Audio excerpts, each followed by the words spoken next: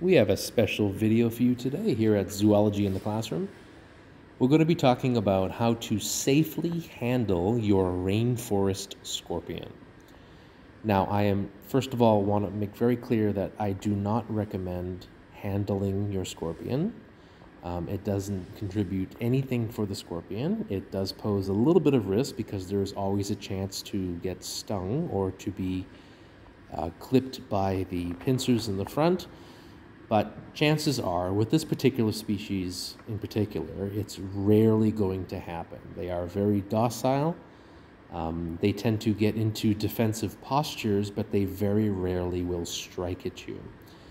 Now, the setup here is to keep the scorpion facing away from the hand. As you can see in the video here, we have a volunteer here who is keeping the hand very still, no sudden movements.